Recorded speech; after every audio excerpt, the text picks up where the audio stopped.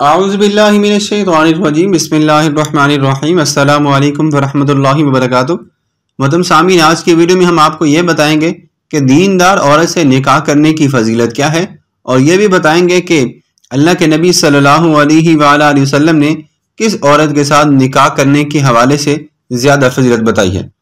النبی حریرت رضی اللہ تعالیٰ عنہ قال قال رسول اللہ صلی اللہ علیہ وسلم، تنکح المرأة لأربعین۔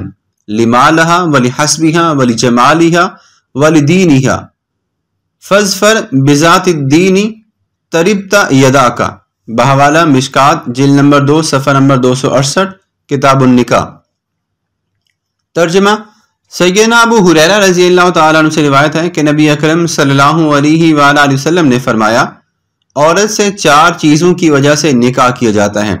اس کی مالداری کی وجہ سے، اس کے حسب نصب کی وجہ سے اس کے حسن کی وجہ سے، اس کے دین کی وجہ سے۔ تو تم دین دار کو حاصل کرنا تاکہ تیرے دونوں ہاتھ بابرکت ہوں۔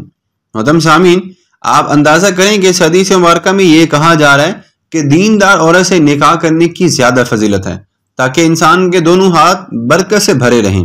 اللہ ہم سب کو بھی بعمل بننے کی توفیق عطا فرمائے۔